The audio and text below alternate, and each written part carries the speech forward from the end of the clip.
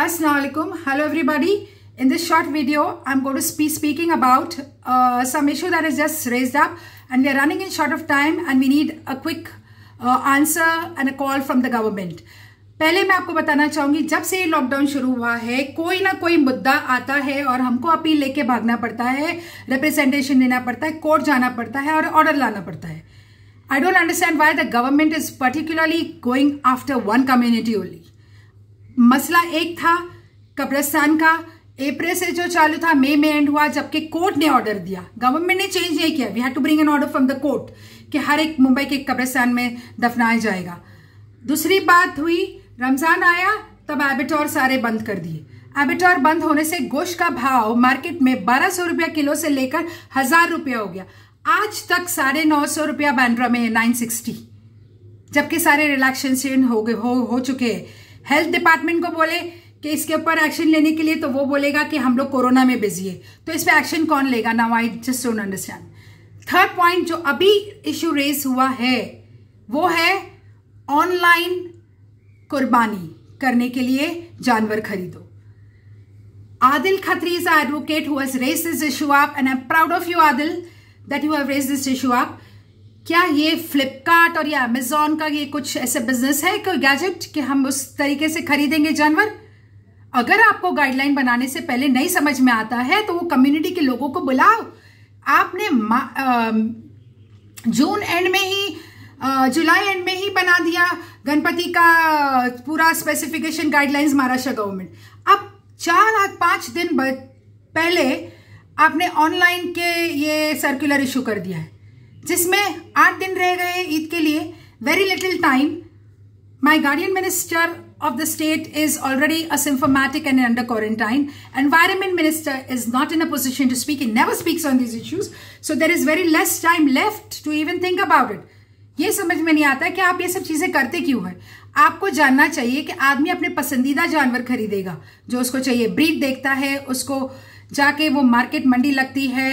ये एक ही टाइम रहता है, जहाँ मार्केट लगती है, जैसे बोली लगती, खरीदते हैं लोग अपने पसंद का जानवर, और उसमें भी गाइडलाइंस है। वो बीमार जानवर नहीं खरीदते। एनी जैसे माजूर है या कोई इसमें खामी है, वो जानवर जिबा नहीं होता।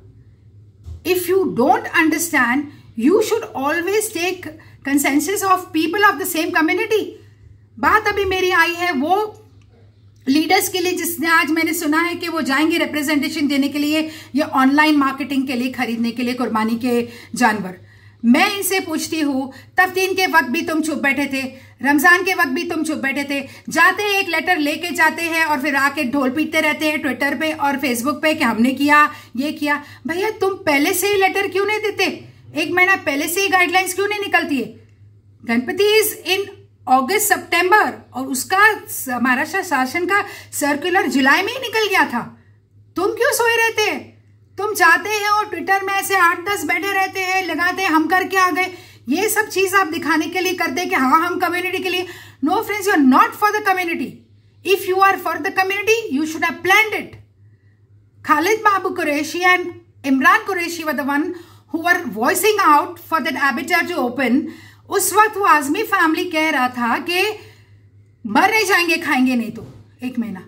What logic what do you talk what was your problem in that you must be getting nice five star food at your home other people wanted to have that basic thing in the Ramzan and enjoy this relishing dishes I was shock you are so educated you are run education in institution and all and you are so bad in your language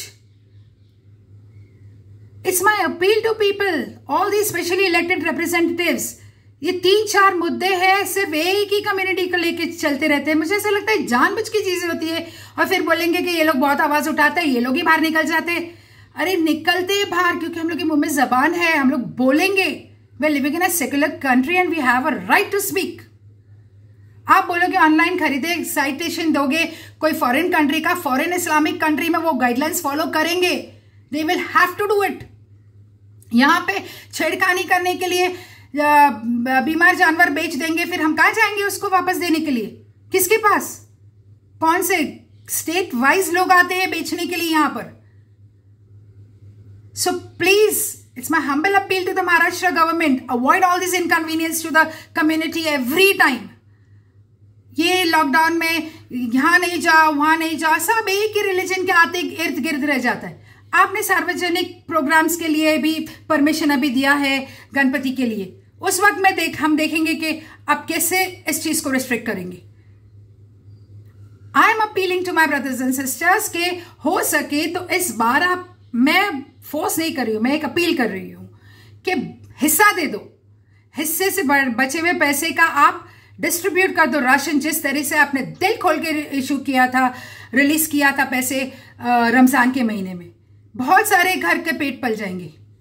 Let's do that otherwise my appeal to the government and my appeal to all this elected representative why do you keep quiet BMC के corporation में बैठे हुए councillors क्या मुस्लिम नहीं है उसके अंदर?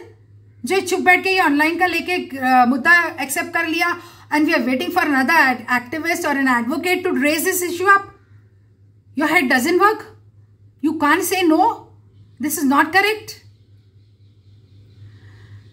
स्टेरेबल really one one one issue आना पड़ता है। मैंने इतने एक्टिविज्म में इतने वीडियो नहीं बनाई हूँ जितना मैंने इस लॉकडाउन uh, में बनाई हूँ। एक एक एक एक एक एक। It is really taught me a lot of things in life in this four months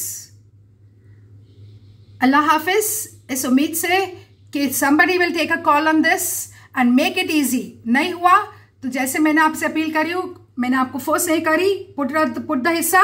क्योंकि इस वक्त तो कसाई लोग भी सर पे बैठेंगे तुम्हारा और मेरा गला काटने के लिए, वो जानवर जिबा करने के लिए। So let's not create complication find an easy way out and sort the things thank you अल्लाह हाफिज़।